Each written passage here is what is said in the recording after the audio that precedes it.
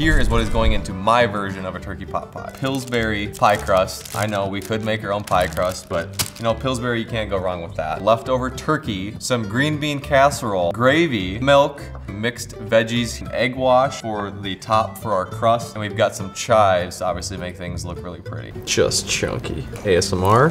Oh! We should have some good audio on that.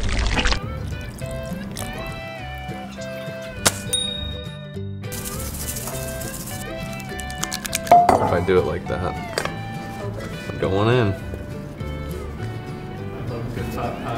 How's that look? It's not very centered, but let's fire up, huh?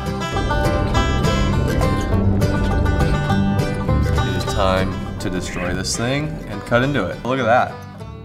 Didn't stick. That's pretty dang good. Thanks so much for watching, and we'll see you next time.